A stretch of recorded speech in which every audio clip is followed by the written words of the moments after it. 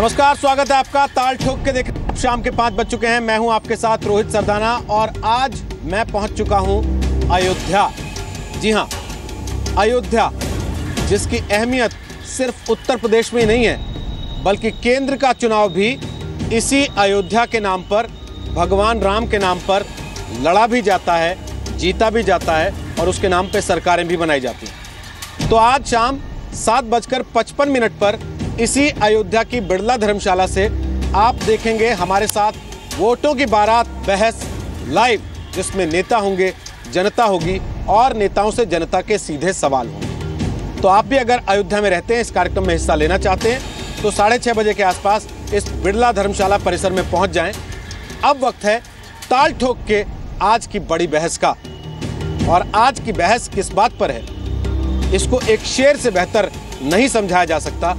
जिसके शब्दों में थोड़ा सा हेरफेर हमने कर दिया। कुछ तो मजबूरियाँ रही होंगी, यूँ ही कोई गठबंधन नहीं हुआ करता। और यह बात आज कही जा रही है अखिलेश यादव के एक अखबार को दिए गए इंटरव्यू के बाद, जिसमें उत्तर प्रदेश के मुख्यमंत्री ने अखबार से कहा कि अगर उनके परिवार में झगड़ा नहीं हुआ होता तो कांग्रेस से समाजवादी पार्टी का गठबंधन करने की नौबत भी नहीं आती। यानी कि वो ये कह रहे हैं कि उत्तर प्रदेश में समाजवादी पार्टी और कांग्रेस का एक गठबंधन, मजबूरी का गठबंधन है। ऐसे में सवाल यह है कि क्या मजबूरी के इस गठबंधन से उत्तर प्रदेश का विकास हो पाएगा?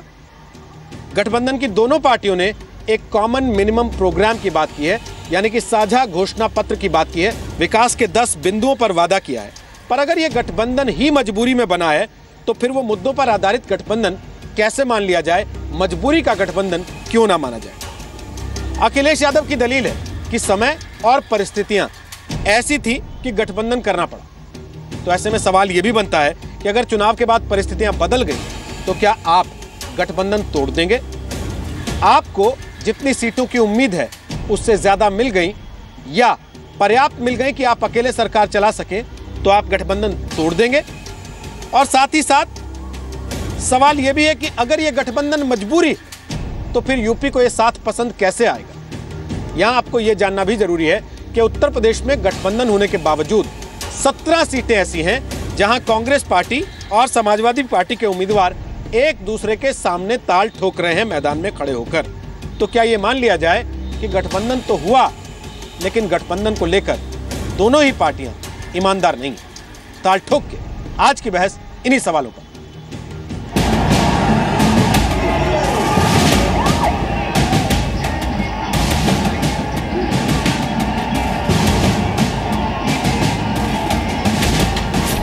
मैंने शुरू में ही कहा कि गठबंधन एक खास समय और परिस्थितियों में हुआ।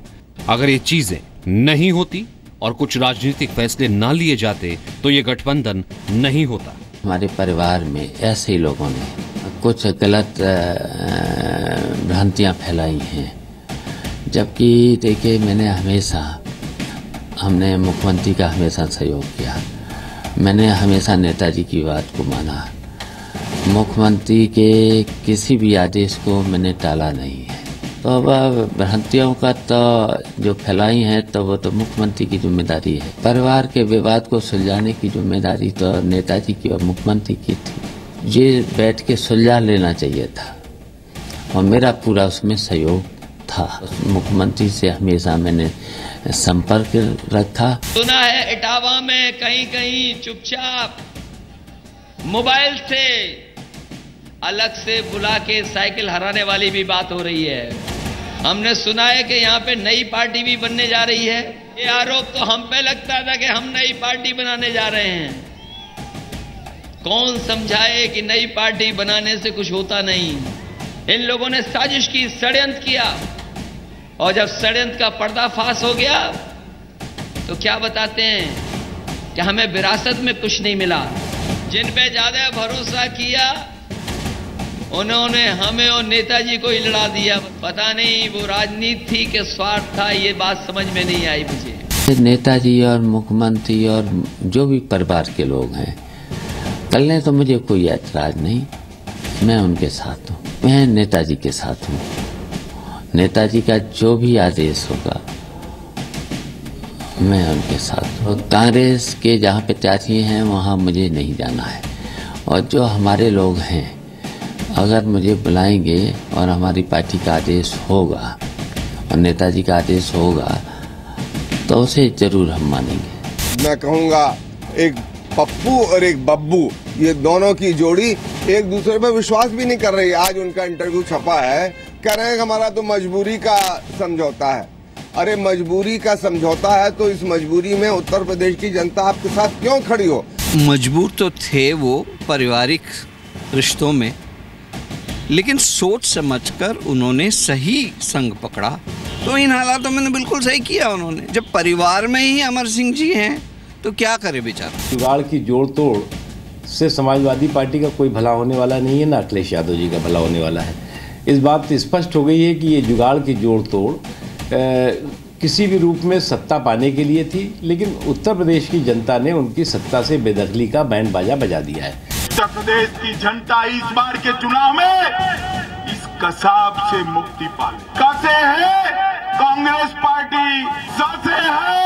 समाजवादी पार्टी और बसे है।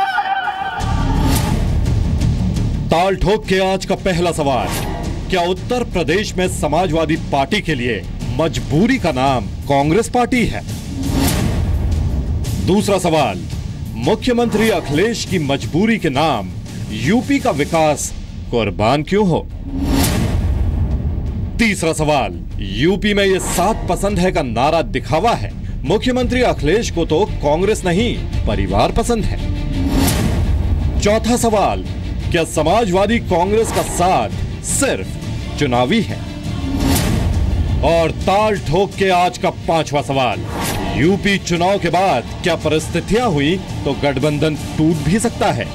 यानी चुनाव बाद अकेले अखिलेश, अकेले राहुल।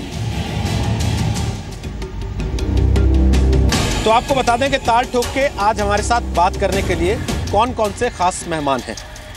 हमारे साथ पवन खेड़ा हैं, जो कांग्रेस पार्टी के प्रवक्ता हैं। करीब पंद्रह साल तक वो दिल्ली की पूर्व मुख्यमंत्री शीला दीक्षित के राजनीतिक सचिव और सलाहकार रहे हैं। और आपको बता दें कि लंबे समय से कांग्रेस के उन रणनीतिकारों में गिने जाते हैं जो कि पर्दे के पीछे रहकर पार्टी के लिए बड़े काम करते रहे स्वागत है पवन खेड़ा आपका। आज पहली बार शायद ताल ठोक के कार्यक्रम में आ पा रहे सुधांशु त्रिवेदी हमारे साथ हैं। वो बीजेपी के प्रवक्ता हैं। मैकेनिकल इंजीनियरिंग में पीएचडी उन्होंने किया है और गृह मंत्री राजनाथ सिंह के वो राजनीतिक सलाहकार हैं। स्वागत है सुधांशु त्रिवेदी आपका। जूही सिंह हमारे साथ हैं। वो समाजवादी पार्टी के प्रवक्ता हैं। अक्सर आप उनको ताल ठोक के कार्यक्रम में देखते हैं, पार्टी का पक्ष रखते हुए। वैसे आपको बता दें कि UP state commission for protection of child rights की वो चेयरमैन है। यूनिवर्सिटी ऑफ़ लंडन से पब्लिक पॉलिसी एंड मैनेजमेंट में उन्होंने पोस्ट ग्रेजुएट किया और साथ ही जितेंद्र त्रिपाठी हमारे साथ हैं। वो बहुजन समाज पार्टी का पक्ष रखते हैं। पिछले करीब डेढ़ दशक से वो मायावती के साथ जुड़े हुए हैं। और लखनऊ में गवर्नमेंट पॉलिटिक, पॉलिटेक्निक में वो आर्किटेक्चर डिपार्टमेंट के एचओडी रहे हैं। और फ़िलहाल आर्किटेक्चर की सलाह देते हैं, कंसल्टेंट हैं। स्वागत है आप सबका आज ताल ठोक के कार्यक्रम में लेकिन हम सवाल जवाब का सिलसिला शुरू करें।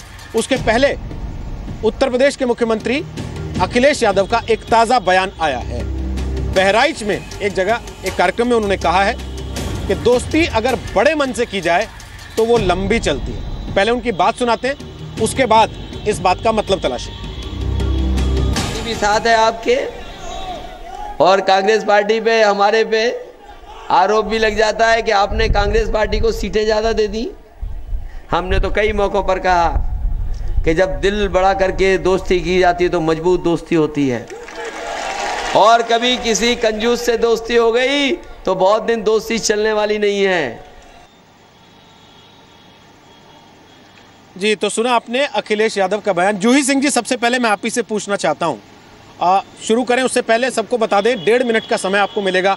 पहले सवाल के जवाब के लिए उस वक्त काउंटडाउन चलता रहेगा और डेढ़ मिनट का समय पूरा हो जाने के बाद आपकी आवाज़ स्वतः बंद हो जाएगी। और जब ये पहला राउंड सबके साथ पूरा हो जाएगा, उसके बाद हम बज़र हटा देंगे। आप सब अपनी अपनी बात खुल के रख सकेंगे, एक दूसरे से क्रॉस क्वेश्चन भी कर सकेंगे। तो जूही सिंह जी, मेरा सवाल आपसे है कि अब तीन चरण हो चुके हैं चुनाव के, चार अभी बाकी हैं। तीन चरणों के बाद अखिलेश यादव को यह क्यों कहना पड़ता है कि गठबंधन मजबूरी में किया था? रोहित जी, एक अखबार का इंटरव्यू था जिसमें प्रश्न पूछा गया था। समाजवादी पार्टी कुछ कठिनाइयों से गुजर गई थी, ये तो सभी को पता है। आपके पास भी ये सर्वविदित है। तो गठबंधन की बात ज़रूर चल रही थी। कांग्रेस पार्टी से और गठबंधन किया गया। आज ये एक मज़बूत गठबंधन है। बुंदेलखंड में चुनाव है। बुंदेलखंड में मुख्यमंत्री बहुत बार जा चुके हैं। हम बुंदेलखंड के लिए बहुत काम कर चुके हैं। चाहे वो दूध के क्षेत्र में हो, पानी के क्षेत्र में हो, तालाब खुदवाने के क्षेत्र में हो, या बुंदेलखंड में सौर ऊर्जा और इलेक्ट्रिसिटी के क्षेत्र में हो तो काम पर हम चुनाव लड़ रहे हैं। काम बोलता है और बड़े दिल से चुनाव लड़ रहे हैं। इसीलिए बार बार मुख्यमंत्री कहते हैं कि हमें इसमें कोई कठिनाई नहीं है कि हमने बहुत सारी सीटें कांग्रेस को दे दी। कांग्रेस उस पर लड़े, कांग्रेस उसको जीते। हमारा सहयोगी दल है। गठबंधन एक ज़िम्मेदारी भी होता है। आज के दिन में भाजपा को देखें बहुत करीब बयालीस पार्टियों के ये भाजपा तो है नहीं, एनडीए हैं, बयालीस पार्टी का इनका गठबंधन है। आशा ये ज़िम्मेदारी से गठबंधन निभाते होंगे कहीं कहीं इनका गठबंधन टूट भी जाता है।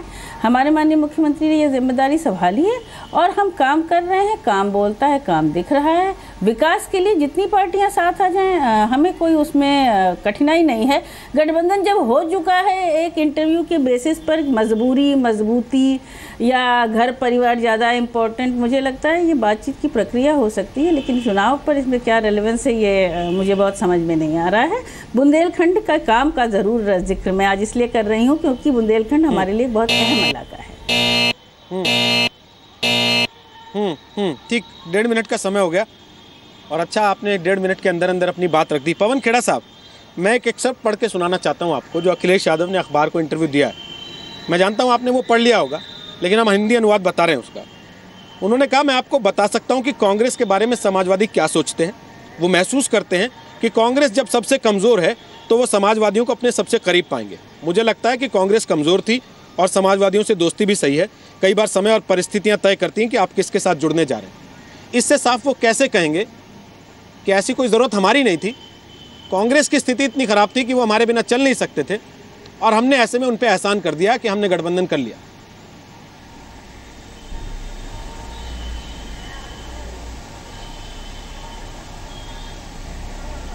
आप एक बात मैं समझ नहीं पा रहा। जब से ये गठबंधन हुआ है, तब से मोदी जी और उनकी पार्टी के सरदर्द बन गया है। मीडिया के एक सेक्शन का पेट दर्द बन गया है और बसपा का दिल में दर्द होने लग गया है। ये हमारे गठबंधन गठबंधन से तमाम राजनीतिक पार्टियों और कुछ मीडिया के लोगों में ये दर्द क्यों है? ये इतना आप लोग बौखलाए हुए क्यों हैं? कि उनकी हर बात को मोड़ तोड़ के पेश किया जा रहा है कि अखिलेश जी मजबूरी, अरे भाई, मजबूरी भी रही होगी तो क्या बुराई है? उन्होंने स्वयं ऑनेस्टली आके बता दिया, उन्होंने एक लाइन और बोली, जो आप लोग सब मिस कर गए, कि तमाम एक कांग्रेस ही एक परिवार था, ये सब कांग्रेस परिवार के ही सदस्य थे, उस परिवार की आप बात नहीं कर रहे, आप बात कर रहे हैं क्योंकि अखिलेश जी की अपने परिवार में झगड़ा हुआ, इसलिए कांग्रेस से उन्होंने हाथ मिलाया, अरे साहब, उन्होंने तो ये भी कहा कि कांग्रेस के ही परिवार के सब हिस्सा थे एक वक्त था जब कांग्रेस ही एक पार्टी थी। जो तमाम पार्टियाँ निकल कर आई हैं, वो कांग्रेस से ही निकल कर आई उन्होंने ये भी तो कहा, ये आप क्यों नहीं बोल रहे हैं? और रही बात अपॉर्चुनिज्म की, अवसरवादिता की तो सबसे बड़ी अवसरवादिता तो हमने कश्मीर में देखी। लड़े एक दूसरे के खिलाफ फिर हाथ मिला दिए। वो कौन सी मजबूरी रही थी? वो थी कि सत्ता में जोड़ तोड़ करके आने की मजबूरी थी। वो मजबूरी भी आपने देखी और उसका और नतीजा भी आपने देखा जो कश्मीर में हो रहा है। भूल गए अब 370 महबूबा मुफ्ती से हाथ मिला दिया। देख लीजिए कश्मीर जल रहा है। काबू नहीं आ पा रहा है इनके क्योंकि आपने जनता से एक दूसरे को गाली देकर वोट लिए थे और अब आप एक दूसरे से हाथ मिला लिया जनता ठीक सर। डेढ़ मिनट हो गया सर। डेढ़ मिनट हो गया सर। आप कह रहे हैं कि ये गठबंधन कर सकते हैं तो हम क्यों नहीं कर सकते? आपने जो कांग्रेस वाली बात कही मैं उस पर वापस आऊँगा। ये बताते हुए कि सर मेरा पेट बिल्कुल ठीक ठाक है। अखिलेश जी ने इंटरव्यू किसी अखबार को दिया है। उस इंटरव्यू के जो मायने हैं वो राजनीति में कैसे निकाले जाएँगे वो आप भी बेहतर जानते हैं, आपका अनुभव बहुत ज़्यादा है राजनीति का। मैं सुधांशु त्रिवेदी आपके पास आ रहा हूँ। आपके पेट में दर्द हो रहा है क्या गठबंधन से?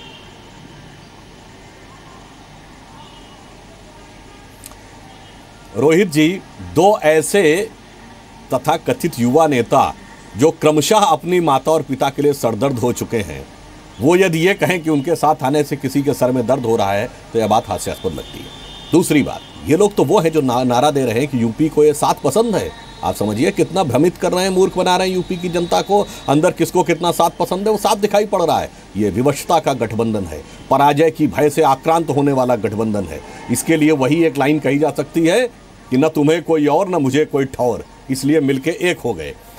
जहाँ तक बुंदेलखंड की बात थी तो सिर्फ़ एक बात कहूँगा, जब इनका ही गठबंधन था कांग्रेस की सरकार में, बुंदेलखंड विकास निधि का केंद्र में जब उनकी सरकार थी तो ये प्रॉपर उपयोग तक नहीं कर पाए थे। और एक और याद, बात याद करिए कि इन्होंने संगठन, इन्होंने गठबंधन किस लिए किया था? तथाकथित सांप्रदायिक शक्तियों के विरुद्ध, यानी हमारे विरुद्ध लड़ने के लिए तो विकास से बढ़कर सांप्रदायिकता को मुद्दा बनाना ही इन्होंने वो शुरू किया जब इन्होंने यह गठबंधन बनाया। और दूसरी बात मैं ये कहना चाहूँगा कि ये लोग तो हमेशा साथ रहे हैं। कौन सी नई बात है भाई? जब केंद्र में यूपीए की सरकार थी, तब क्या समाजवादी पार्टी का समर्थन नहीं था?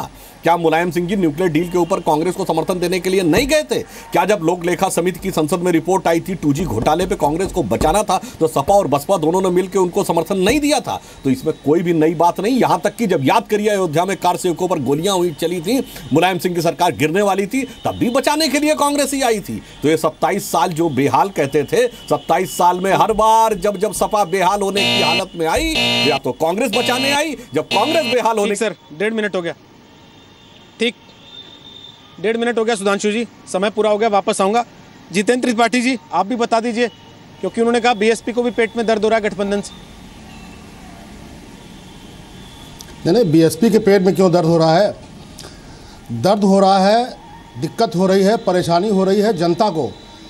भाई अगर इतना ही प्यार और इतना ही मोहब्बत था गठबंधन करने का इतना शौक था तो ये गठबंधन छः महीने पहले, आठ महीने पहले होना चाहिए था ना? कांग्रेस के जो बड़े नेता हैं, माननीय सोनिया जी और इनके अपने अखिलेश जी के जो माननीय पिताजी हैं, मुलायम सिंह जी, ये हर वक्त आपस में एक दूसरे को नीचा दिखाते रहे, हमेशा लड़ते रहे, केंद्र में हमेशा इनकी लड़ाई होती रही। एक ने कभी दूसरे को प्रधानमंत्री बनने नहीं दिया, दूसरे ने कभी पहले को प्रधानमंत्री बनने नहीं दिया। इनकी हमेशा लड़ाई रही और आज जो इनके दोनों के युवराज हैं, जैसा सुधांशु जी ने कहा कि ये सरदर्द हैं इनके लिए आज ये मिलने जा रहे हैं। यूपी की जनता को या नासमझ समझते हैं, बेवकूफ़ समझते हैं। कल तक राहुल राहुल गांधी जी अखिलेश को पानी पी पी कर गाली देते थे। एक अपना पचहत्तर साल की बुज़ुर्ग महिला को अपना मुख्यमंत्री इन्होंने प्रोजेक्ट कर दिया था। न इनके बीच में कोई कॉमन मिनिमम प्रोग्राम है। ये बस, ये कोई मधुर मिलन नहीं है। ये मजबूरी का मिलन है। भाई, कांग्रेस वाले हमारे मित्र जो पवन खेड़ा जी अभी कह रहे थे कि बाकी ये सब निकले तो कांग्रेस से ही हुए हैं। तो इसमें क्या आपको फ़क्र लग रहा है? आप इसमें कैसे गर्व महसूस कर सकते हैं? अगर ये कांग्रेस से निकले हैं तो कांग्रेस से कोई शिकायत रही होगी परेशानी रही होगी ये सब कांग्रेस को गाली दे के निकले हैं। आपने इनको क्यों गले लगा लिया? कांग्रेस से तो ममता बनर्जी भी निकली है। जाइए उनके साथ गठबंधन कर लिए। क्या आपके रिश्ते आज की डेट में ममता बनर्जी के साथ? इसमें फक्र महसूस मत करिए। कांग्रेस से जो निकला है वो उसको गाली दे के निकला। ठीक सर। सर डेढ़ मिनट हो गया। सर डेढ़ मिनट हो गया। खेड़ा साहब आप रिएक्ट करना चाहेंगे उनकी बात पर जो त्रिपाठी जी कह रहे हैं? जी जी। बसपा से भी कुछ बसपा से भी कुछ लोग अभी निकले हैं। पता नहीं कितनी उन्होंने किसको गालियाँ दी। मैं गालियों की भाषा में बात नहीं करना चाहता। और भाजपा से भी लोग नहीं निकलते ही रहते हैं लोग। लोग निकलने का मतलब नहीं है कि आप बुरे हो गए या वो बहुत अच्छे थे या वो बुरे हैं। ये क्या बात है आप गर्व और रही बात पुराने अलायंसेस की तो आपका तो भाजपा के साथ पुराना रिश्ता रहा है। आपका तो भाजपा के साथ कई बार रिश्ता हुआ है। हो सकता है अगर खैर मौका आएगा नहीं लेकिन मौका आते ही हमें मालूम है आप लोग कहाँ जाएँगे। हमें तो ये भी मालूम है कि मऊ सदर से भाजपा ने मुख्तार अंसारी साहब के खिलाफ कोई कैंडिडेट ही नहीं दिया है। तो हमें तो ये सब दिख रहा है दूर से। हम इंजॉय कर रहे हैं। हमें एक ही राजनीति आती है, विकास की राजनीति। ये पहली बार ऐसा हुआ है कि दो बड़े युवा नेता इकट्ठे, दो बड़े दलों के युवा नेता इकट्ठे आए हैं। इन सबको परेशानी इस बात की है कि अब तो ज़ुबान बदल गई। इनको ये ज़ुबान आती नहीं है विकास की। ना या सुधांशु जी हो या हमारे त्रिपाठी जी हों। ये विकास की ज़ुबान में बात करना नहीं आता, इनको कब्रिस्तान आता है, शमशान आता है, रोजी रोटी नहीं आता, रोज़गार नहीं आता, इनको बिजली पानी सड़क की बात करनी नहीं आती। ये इसी तरह की लफाजी में अपनी राजनीति करना करना चाहते हैं। हम लोग एक नई राजनीति सामने लाए हैं। जनता सामने देख रही है, जनता अपना फैसला दे रही है। ठीक, सर। सुधांशु जी, बोलिए। देखिए, मैं पवन खेड़ा जी से कहना चाहूँगा कि जो आप पुराने गठबंधन की बात करते थे, वो तो अपनी जगह है भाई। अभी तो पिछले हाल के वर्षों में दस साल तक बहुजन समाज पार्टी का भी आपने समर्थन लेकर रखा था राष्ट्रपति महोदय को। हाल में संपन्न राज्यसभा के चुनाव में उत्तर प्रदेश में सपा बसपा ने आपका समर्थन किया है भाई। कपिल सिब्बल जी कैसे चुन के गए हैं?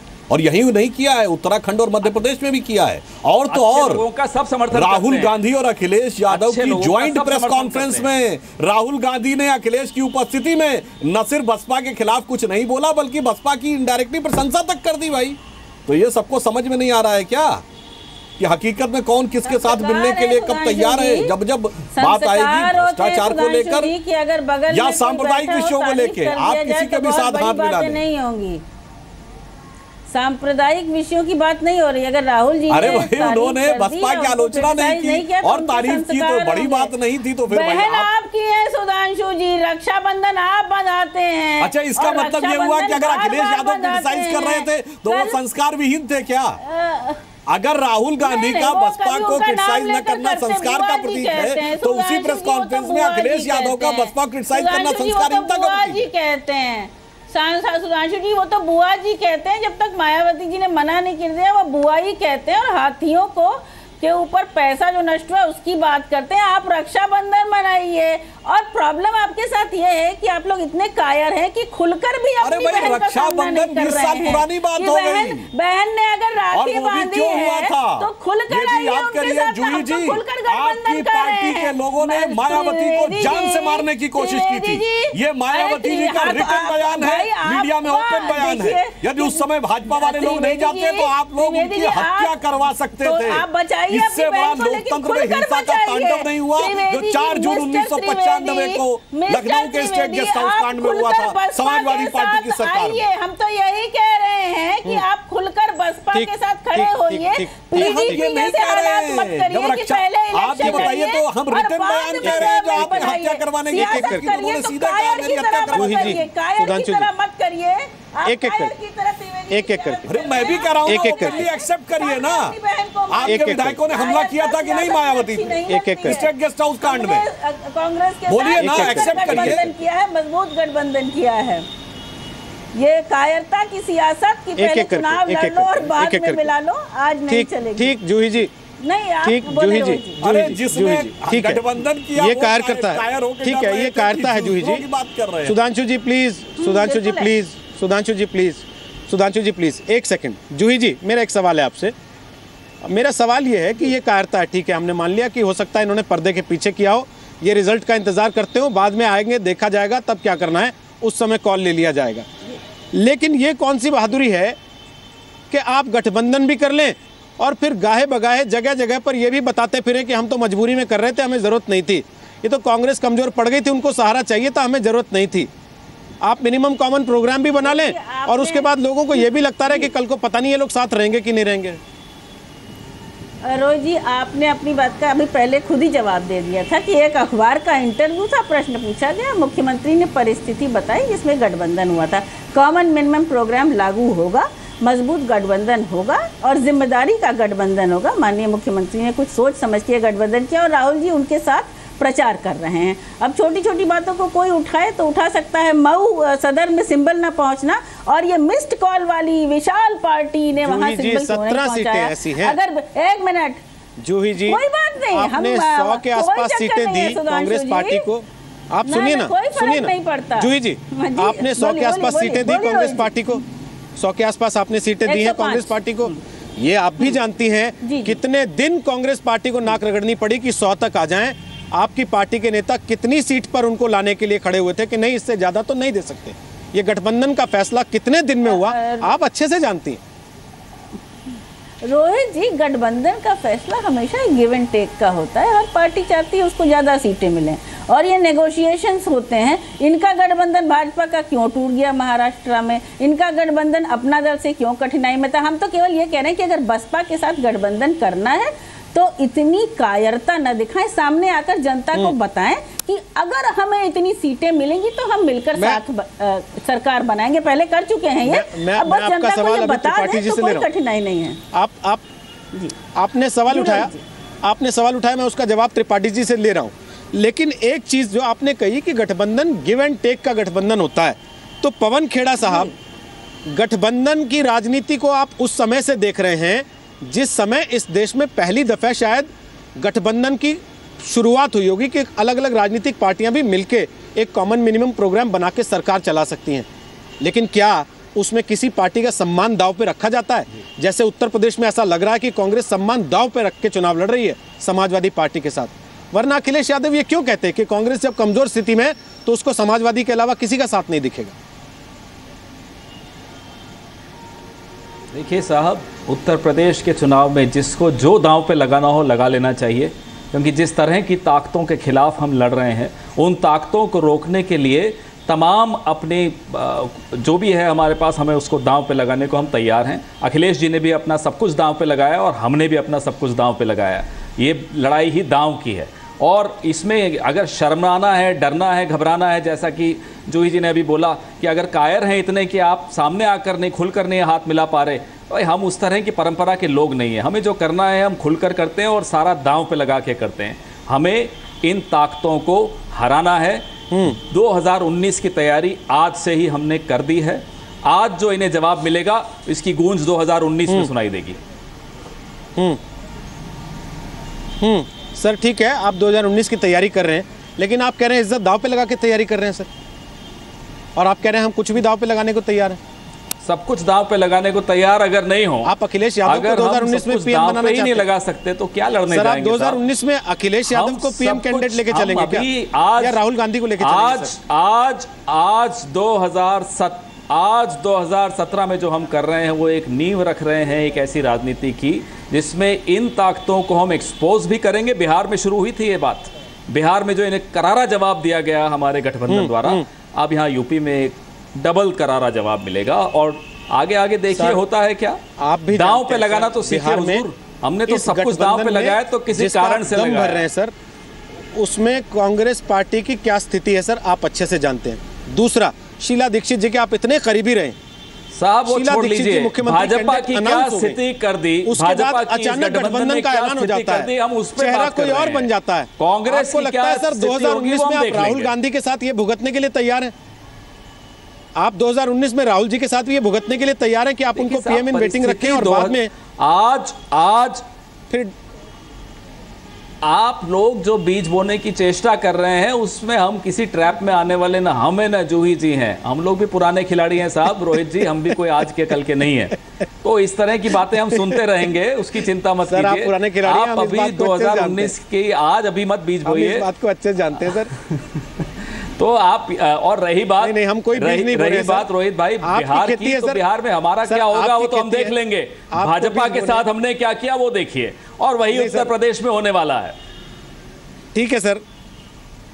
ठीक है सुधांशु त्रिवेदी आप कुछ कहना चाह रहे हैं? बोल लीजिए फिर त्रिपाठी जी आपके पास आ रहा हूँ बोलिए सुधांशु। जी। बोलिए देखिए पवन खेड़ा जी ने एक बहुत अच्छी बात अनजाने में कह दी कि ये पुराने खिलाड़ी हैं मज़े हुए खिलाड़ी हैं। बिल्कुल सही बात है। ये शीला जी के साथ रहे हैं। बताइए कभी शीला जी के मुँह से ऐसी बात फिसल गई? जैसी अखिलेश जी के मुँह से निकल गई और फिर अब आपको कहना पड़ा नहीं वो तो इंटरव्यू था इसका मीनिंग ये था वो था। यही होता है मेच्योर और परिपक्व और अनुभवी लीडरशिप होने का। और यदि अनुभवहीन प्रतिक्रियावादी लीडरशिप भी मैं जवाब देना चाहता हूँ। दूसरा मैं कहूँगा कायरता की बात कही। तो कायरता तो यह है कि आप गठबंधन कर भी रहे हैं और मतभेद व्यक्त भी कर रहे हैं। हकीकत है तो खुल के कहिए या तो हम साथ में है, हैं या कहिए कि नहीं हमारा आपसे मनभेद है। वास्तविकता यह है। अरे भाई आप लोग बोलते हैं तो मैं हस्तक्षेप नहीं करता मेरा भी कृपया बात सुन लीजिए। आज हकीकत यह है रोहित जी कि हो गया है गठबंधन, पर मन भी कसमसाए, कहा भी ना जाए, चुप रहा भी ना जाए। ये इनकी एक हकीकत हो गई। और हकीकत उसमें यह भी देखिए, अमेठी में दोनों लड़ रहे हैं। यानी देखिए, कायरता इसे कहते हैं कि भाई, या तो आप उनका सम्मान करिए, अमेठी के ग्रह ग्रह क्षेत्र है, उनका उसमें छोड़ दीजिए, मगर गायत्री प्रजापति के लिए, अखिलेश यादव जी, स्टैंड लेकर, अपने गठबंधन सहयोगी के गढ़ में चुनाव लड़वा रहे हैं क्या अपने आप में इतना ही पर्याप्त नहीं है कि मन में क्या है? किसके दिल में कुछ और है और और सामने कुछ और है? इसे कहते हैं कायरता। हम्म। हम्म। ठीक। त्रिपाठी जी बोलिए। मन की बात नो काम की बात। जी रोहित जी मैं पवन खेड़ा जी से कहना चाहता हूँ आप ये बिल्कुल ना बताएँ कि आप इस खेल के बहुत बड़े खिलाड़ी हैं। पूरी दुनिया जानती है कि कांग्रेस के लोग बहुत बड़े खिलाड़ी हैं। और ये जो आपने खेल अभी खेला है, इसमें आप सफल नहीं होंगे। अखिलेश जी ने खुद माना है इस बात को। उन्होंने अपने इंटरव्यू में कहा है कि when the Congress is weakest then they find Samajwadi Party the closest तो जो क्लोजनेस अगर बनी रहेगी तो ये कांग्रेस की वीकनेस में ही होगी। कांग्रेस वहाँ कभी राइज नहीं कर पाएगी। 28 आपके विधायक थे पिछली विधानसभा में। उसमें आप कितना कि इस गठबंधन से क्या चाहते हैं? आपको क्या लगता है कितना आप यहाँ खेल कर पाएँगे और यूपी की जनता को बेवकूफ़ बनाएँगे? ये कितना खेल खेलेंगे? आपने कहा था, जब आपका मुख्यमंत्री यहाँ माननीय शीला जी प्रोजेक्ट की गई थी, कांग्रेस तरफ़ से की गई थी कि नहीं? तो कहा था, दस परसेंट ब्राह्मणों के लिए आप आरक्षण देंगे। क्या आपके किसी कॉमन मिनिमम प्रोग्राम में ये बात है कि नहीं है? कि अब वो ख़त्म हो गया। ब्राह्मण मुख्यमंत्री गया और ब्राह्मणों का जो आपने एक, शगुफा, एक लॉलीपॉप दिया था वो अभी डज इट स्टैंड और नॉट खेड़ा जी जी खेड़ा जी रोहित जी मैं जवाब इनके सवाल के साथ साथ मेरा भी एक सवाल है सर। आपने हाँ सर आप जवाब दीजिए एक छोटा सा सवाल और ऐड कर दे रहा हूँ। उसको भी साथ में जोड़ लीजिएगा। सवाल ये है सर कि आप थाली अभी खाली लेके बैठे हैं और 2019 का मेन्यू डिसाइड कर रहे हैं अभी से जबकि इसकी गारंटी आप दे नहीं पाएँगे शायद अभी। कि अगर इसी 2017 के चुनाव में अखिलेश यादव की अपनी पार्टी को पर्याप्त सीटें मिल गई तो इस गठबंधन का क्या होगा?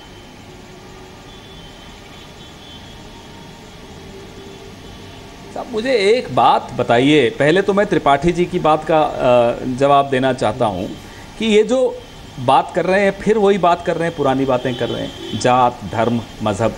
ये दो युवा लोग आए हैं ये सिर्फ़ और सिर्फ़ विकास की बात कर रहे हैं। आप दसों के दसों बिंदु उठा के देख लीजिए वादा किया था, मैं कौन सा जात धर्म, आप तो मुख्यमंत्री लेके आए थे भाई। कि- इस मैं जरा मैं जरा आगे बोल दूँ हमने लगता है या तो किसी ऑफिशियल खान की प्लेटफॉर्म बातें से अगर सुनते नहीं, कांग्रेस ने कहा हो खेड़ा जी लगता है तो चैलेंज आप कर रहा खान हूँ। की बातें सुनते नहीं चैलेंज कर रहा हूँ। समाजवादी पार्टी का नेता नहीं अगर आप- कोई नए वादे करेंगे तो आपका आप मुझे इतिहास। पीछा थोड़ी अगर हमारे किसी ऑफिशियल ऑफिशियल प्लेटफॉर्म से कांग्रेस ने अगर ऐसा कोई टिप्पणी की हो आप मुझे अभी बताइए मेरा ये चैलेंज है आपको। रही बात आपकी। अनऑफिशियल ऑफिशियल आपको जो सूट करता है उसको आप ऑफिशियल कर देते हैं जो आपको नहीं सूट करता है उसको अनऑफिशियल हमारी हमारी एक ही है कॉमन प्रोग्राम हमारा है। एक कॉमन प्रोग्राम है जिसमें बीएसपी को भी शामिल हो जाना चाहिए था पता नहीं क्यों नहीं हुए। हमें मालूम है क्यों नहीं हुए। हमें भाजपा को पीछे हराना है। हमें भाजपा को रोकना है। हमें भाजपा के और इनके ये जो तो ये जो कायर पार्टनर्स हैं तो बीएसपी तो जो उनके मतलब कायर पार्टनर्स हैं उनको त्रिपाठी जी, त्रिपाठी जी, त्रिपाठी जी, उनको हराना त्रिपाठी जी अट्ठाईस त्रिपाठी जी त्रिपाठी जी जितेंद्र त्रिपाठी जी। मऊ सदर में सर एक मिनट सर एक मिनट। भाई आप ये बताइए मऊ सदर में तो आप त्रिपाठी जी और खेड़ा जी? प्लीज़ सर मेरी बात सुन लीजिए एक मिनट। खेड़ा जी। त्रिपाठी जी और खेड़ा जी प्लीज़ एक मिनट के लिए रुक जाइए। खेड़ा जी आप ये कह रहे हैं कि हमें किसी भी कीमत पर भारतीय जनता पार्टी को आने से रोकना था। सर आप बातें कर रहे हैं कि हम विकास करने के लिए सरकार लाना चाहते हैं। और, और टीम आप बनाते हैं मोदी रोको उनके प्रतियोगिता खेल रहे जैसे सर। और उनके साइलेंट पार्ट अगर भाजपा आएगी तो विकास नहीं आएगा। तीन साल में आपने हिंदुस्तान की हालत देख ली। कौन सा विकास आ गया? जरा मुझे बता दीजिए। लोग दर दर भटक रहे हैं अच्छे दिन ढूँढने को कहीं मिलते नहीं है। कहीं ना बैंकों में मिलते हैं ना लाइनों में मिलते हैं ना एटीएम में मिलते हैं और मिलते हैं तो नकली नोट मिल रहे हैं। आज एसबीआई में नकली नोट 2000 के भी मिले हैं दिल्ली में। आपको शायद नहीं मालूम होगा। तो भाजपा को रोकने का अर्थ ही है कि विकास मालूम है सर मुझे। विकास लाएँगे तभी आप ही को मिलेंगे? भाजपा और इनके ये साइलेंट पार्टनर्स और इनके ये साइलेंट पार्टनर्स बीएसपी जैसे जो इनके पार्टनर हैं इनको अगर हम रोक पाएँगे तभी विकास आ पाएगा। ये सीधी सीधी बात है इसमें कोई बीएसपी जैसे कोई पार्टनर मत बोलिए इतना खराब मत बोलिए। आपको भी सपोर्ट दिया है वहाँ केंद्र में। आपने सपोर्ट लिया है। आज दिया अब आप अब आप भटक गए हैं। अब आप नहीं भटके थे अब आप भटक गए हैं। यही तो हम कह रहे हैं आपको। आप भटक गए हैं। मतलब मतलब है, काम निकल जाने के बाद आप ऐसे ही ट्रीट करते हैं। काम निकल जाने के बाद कांग्रेस ऐसे ही ट्रीट करती है। काम निकल जाने के कांग्रेस ऐसे ट्रीट करती है ना अपने सहयोगियों को लंबा इतिहास। एक कांग्रेस वेद है इसका। कांग्रेस वेद इतना इतना मोटा इतिहास है। सुधांशु त्रिवेदी आप कुछ कहना चाह रहे हैं? हाथ उठाते बोलिए। आप तो हमारे इतिहास की अरे साहब अभी तो आगे भविष्य देखिए हमारा भविष्य देखिए भी मैं पवन जी की बात तो का उत्तर देना चाहता हूँ। हमारा भविष्य भी बहुत उज्जवल है। बहुत नहीं, नहीं, अंधकार में है। बिल्कुल ठीक ठीक पवन जी बोले सुधांशु दिखाई पड़ रहा है इतिहास से लेकर भविष्य तक। अब मैं पवन जी की एक बात का तथ्यात्मक उत्तर देना चाहता हूँ। उन्होंने कहा हमारे किसी लीडर ने अगर कभी कोई बात किसी सांप्रदायिक समाज का नाम लेके सांप्रदायिक बात कही मैं याद दिलाना चाहता हूँ 2012 के उत्तर प्रदेश विधानसभा चुनाव में सलमान खुर्शीद ने ओपनली मुसलमानों को उत्तर प्रदेश में आरक्षण देने की बात कही। त्रिपाठी जी जो संविधान सम्मत नहीं है मंत्रियों के पर मेरी टिप्पणी सुनी आंध्र प्रदेश में आपके तत्कालीन मुख्यमंत्री वाई एस राजशेखर रेड्डी ने बोला। तो अरे भैया मुझे बोल लेने दीजिए ना अब आप आप जब बोलते हैं तो मैं बिल्कुल शांति से कहता हूँ। अब आपको जब मैं याद दिला रहा हूँ तो कृपया सुन लीजिए। तो आपकी यूपीए वन सरकार में तत्कालीन रक्षा तो मंत्री ने सदन के पटल पर बोला there should to be a Muslim head count in Indian army. फिर तो आपके प्राइम मिनिस्टर ने यूपीए वन में बोला Muslim should have first to right over the national resources of India इससे बड़ा तो उदाहरण नहीं हो सकता कि आपके रक्षा मंत्री तो आपके विदेश मंत्री। आपके प्रधानमंत्रियों ने सीधे सीधे एक समाज का नाम लेकर एक संप्रदाय का नाम लेकर सेना से लेकर आर्थिक संसाधनों तक सब कुछ आपने लेकर है। ये मैं आपको एक याद दिलाना चाहता था आप तो सेना तक को क्रेडिट नहीं देते। और दूसरी बात आपने एयू में हम 17 की पचास प्रतिशत आरक्षण दे दिया। मतलब दलितों का आरक्षण काट दिया। पिछड़ों का आरक्षण काट दिया और मुसलमानों को पचास प्रतिशत आरक्षण दे दिया। आपने तो करके दिखाया मैंने चार फैक्ट आपके सुनिए ना, सर। ये आईना आपको दिखाने का काम किया। सुनिए ना, भाई आप क्या इतिहास की बात कर रहे हैं? आपका तो इतिहास अच्छा, है नहीं है। प्लीज़, अरे जब अंग्रेज़ों से लड़ रहे थे हम तो अब आप कहा थे इतिहास नहीं भाई मैंने पिछले इतिहास की तीन साल की किया चार पाँच साल की बात जाएगी। और हम सभी प्रवक्ताओं को सभी नेताओं को जो राजनीतिक पार्टियों से आते हैं खासतौर पे एक चीज़ और बताना चाहते हैं। वो ये कि हमने कार्यक्रम की शुरुआत में मेहमान के परिचय के साथ साथ उसकी क्वालिफिकेशन बताना शुरू किया। इसलिए ताकि जनता को ये पता लगे कि जो आदमी उनके सामने बात रख रहा है, वो कितना पढ़ा लिखा है, कितना सभ्य है और कितने अच्छे तरीके से अपनी बात रख सकता है। तो हम उम्मीद करते हैं कि सब अपने अपने समय का ध्यान रखते हुए अपने अपने वक्त में बोलें अपनी अपनी बात रखें तो बेहतर होगा, सबको सुनाई देगा, समझ में आएगा। इसी के लिए हमने घड़ी का सिस्टम भी लगा दिया। अगर हमारे प्रवक्ता मेहमान चाहें तो हम पूरा कार्यक्रम उस एक मिनट की घड़ी के साथ निकाल सकते हैं, लेकिन उन्हीं की शिकायत रहती है कि एक मिनट में कई बार बात पूरी नहीं हो पाती, इसलिए हम थोड़ा समय बिना घड़ी के भी देते हैं। तो इसलिए कृपया उस चीज़ का ख्याल रखें कि दर्शक, मजबूरन चैनल ना बदल दें आप लोगों को सुनने की। और ताल ठोके में आज का सवाल ये, क्या उत्तर प्रदेश में मजबूरी का नाम कांग्रेस है? पवन खेड़ा कांग्रेस से हमारे साथ हैं, जूही सिंह समाजवादी पार्टी से हैं, जितेंद्र त्रिपाठी बीएसपी से हैं, सुधांशु त्रिवेदी भारतीय जनता पार्टी से हैं। सुधांशु त्रिवेदी, आप जाना चाहते हैं? लास्ट कमेंट, केवल मैं आपसे एक सवाल पूछ रहा हूँ। कि अगर वाकई आपको लगता है गठबंधन के बोझ से अखिलेश यादव कांग्रेस का बोझ उठाएँगे तो उनकी साइकिल की रफ्तार धीमी हो जाएगी तो आप लोगों को तनाव क्यों हो रहा है जब से गठबंधन हुआ? आप लोग डर क्यों रहे हैं? लगातार अटैक आपका गठबंधन पर क्यों है? रोहित जी, अगर कोई भी व्यक्ति उत्तर प्रदेश के वर्तमान चुनावों को देख रहा होगा तो बहुत साफ़ समझ में आ रहा होगा, हम अटैक नहीं कर रहे हैं, सबके अटैक के निशाने पे भाजपा है। चाहे सपा हो, बसपा हो या कांग्रेस हो। इसका मतलब बहुत साफ़ है कि सब के सब भाजपा से डर रहे हैं। भाजपा किसी से नहीं डर रही। है तो गठबंधन खुद ही डर से हुआ गठबंधन। बहुत बहुत शुक्रिया। सुधांशु त्रिवेदी आपका। पवन खेड़ा एक सवाल बीच में रह गया। ये कैसा गठबंधन है जिसमें आप सत्रह सीटों पर आमने सामने खड़े? देखिए साहब लोकल मजबूरियाँ होती हैं लोकल इश्यूज़ होते हैं लोकल मुद्दे होते हैं लेकिन जो सुधांशु जी ने कहा मैं उनकी बात से बहुत ज़्यादा सहमत हूँ। सबके सब भाजपा से डरे हुए हैं, ये देश भाजपा से डरा हुआ है और उत्तर प्रदेश भी भाजपा से डरा हुआ है। बिल्कुल सही बोल रहे हैं वो। तो लोगों का डर दूर करने के लिए हम लोगों ने हाथ मिलाया है। लोगों को डरने की कोई आवश्यकता नहीं, हम बखूबी मुकाबला करेंगे और भाजपा को नहीं आने देंगे। आपने आज की बहस पूरी कर दी, सर। ये पहला मौका है कि जहाँ से शुरू हुई थी बात, वहाँ के खत्म हो रही है। मैंने शुरू इस बात से किया था, अखिलेश यादव कह रहे हैं, गठबंधन मजबूरी है। आप कह रहे हैं, हमें अपने आदमी सत्रह जगह उतारने पड़े, वो मजबूरी है। यानी कि सब कुछ हो रहा है ना सर मजबूरियों में? फिर जनता को क्यों कह रहे हैं कि लोकल मुद्दे होते हैं? हैं। हम तो कमाल कर लोकल मुद्दे रहते हैं अपनी मजबूरी में साथ साथ लोकल मुद्दे रहते है। हैं। मुद्दा विकास है हमारा मुद्दा हमारा मुद्दा विकास है इनका मुद्दा गठबंधन है। इनका सारा अटैक गठबंधन पे हमारा एक ही मुद्दा है विकास। और इनके तमाम लोगों के मुद्दा क्या है? अरे गठबंधन क्यों हो गया? अरे साहब आप अपना काम करिए प्रचार करिए अगर कर सकते हैं। नहीं आ रहे आपके रोड शो में लोग। हमें मालूम है कल क्या हालत हुई अमित शाह साहब के रोड शो में। टीवी चैनल्स पे दिखाने में बड़ा मुश्किल हो रहा था। लोग ही नहीं थे। हमारे मंच गिरे जा रहे हैं क्योंकि मंच पर भी इतनी भीड़ है। इनके रोड शो पे भीड़ नहीं है। अब रोड ही रोड रह जाएगा साहब शो इनका समाप्त हो रहा है। चलिए आपने मंच गिरने की बात खुद ही कह के संभाल ली पहले से। जितेंद्र त्रिपाठी कहते तो और कुछ तरीके से कहते त्रिपाठी जी लास्ट कमेंट आपका। आखिरी केवल। जी।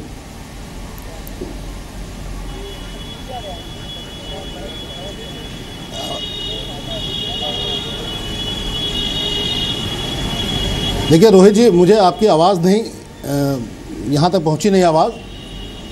लेकिन प्रश्न आपका कोई हो, मैं उससे मिलता जुलता अपने ऊपर लेके मैं उत्तर दे रहा हूँ। पवन खेड़ा जी ने अभी कहा, जब आपने कहा कि सत्रह सीटों पे गठबंधन आमने, गठबंधन के प्रत्याशी आमने सामने हैं तो इनका जवाब ये है कि कुछ लोकल मजबूरियाँ होती हैं। मतलब लोकल मजबूरी तो है, ये पूरा गठबंधन मजबूरी है तो इस तरह की लोकल मजबूरियाँ बहुत सारी हैं वहाँ पे। पवन खेला जी ये बताइए, आप ये जो उत्तर प्रदेश में कानून व्यवस्था इतनी खराब है, सब तरफ़ हाहाकार बचा हुआ है, इसको कैसे गले लगाएँगे आप? अखिलेश की नाकामी को आप कैसे कैसे आगे बढ़ाएँगे? इस कुछ है। प्रकाश डालिए। है उत्तर प्रदेश को बदनाम करने की साजिश में आज के दिन में बसपा दुनिया भर के कांड हुए हैं दुनिया भर के कांड। एनसीआरबी का डेटा पढ़िए एनसीआरबी का डेटा हम आम। जनता एनसीआरबी का डेटा नहीं जानती है। जनता को कहाँ घर घर आप जानती। जनता है। पूछेंगे नहीं तो तो जनता जानती है। गायत्री प्रसाद गायत्री प्रसाद प्रजापति आपके हीरो। जी। आ- आ- जी जी। जनता। जानती है। आपकी तो कुमारी अच्छा, ठीक है, झगड़िए नहीं। और झगड़िए नहीं, झगड़िए नहीं। होता है कि जब जब सपा की सरकार भाई, हमारा मकसद ये नहीं कि आप लोग झगड़ने लगे। सिंहासन खाली करो कि जनता आती ठीक है। जूही जी जूही जी जूही जी जूही जी समय खत्म हो गया है समय खत्म हो गया। है मैं आपको शायद और मौका दे देता आपके गठबंधन के साथ ही काफ़ी बात कह चुके हैं पूरी। चलते चलते केवल इतना कह रहा हूँ कि इलाहाबाद में जो कुछ हुआ मंच से डिम्पल यादव जो कह रही थी लोगों से आप ये कह के डिफेंड करती रही कि मैं मंच पर बैठी थी ऐसा कुछ नहीं हुआ।